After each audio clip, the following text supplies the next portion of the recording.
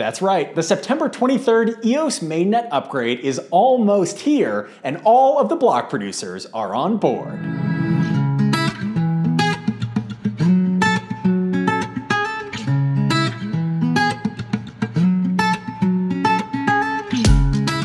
I'm Rob from Cypherglass, and recently, a bunch of block producers, Cypherglass included, got together on a call to discuss the terms of the upcoming September 23rd EOS mainnet upgrade. And good news, all of the block producers are on board and ready for the upgrade to happen.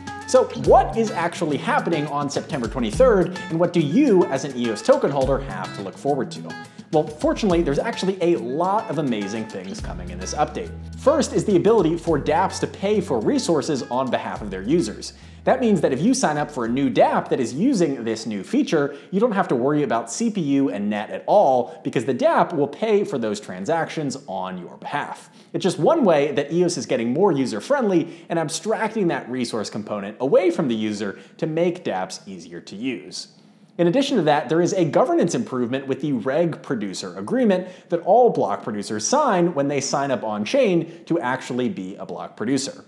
Basically, it works like this. If a block producer on the EOS mainnet misses a few rounds of blocks, they will automatically be removed from producing blocks on the network until their infrastructure is ready, and then they can reg produce again and get back in the fight.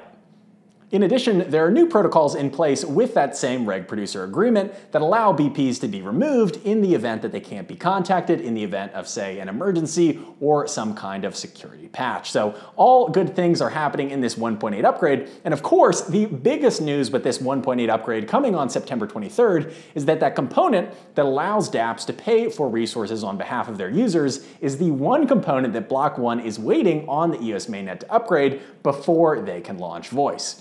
And of course, while we don't know the release date of Voice or if there will be a beta before the main rollout or not, we do know that right now the ball is in our court as block producers to get this upgrade on the EOS mainnet finalized and pushed out, and then the ball will be back in Block 1's court for them to make some kind of an announcement about a release date. And I know so many of you out there are really looking forward to that, myself included. So the good news here is that EOS 1.8 is coming to the EOS mainnet on September 23rd, and all of the block producers are ready to go and ready to upgrade. It should be a historic day with not only the EOS mainnet upgrading, but also Bakkt launching their physically settled Bitcoin futures. So mark your calendars for September 23rd as an amazing historic day in crypto. Until next time, I'm Rob from Cypherglass, and remember, go EOS!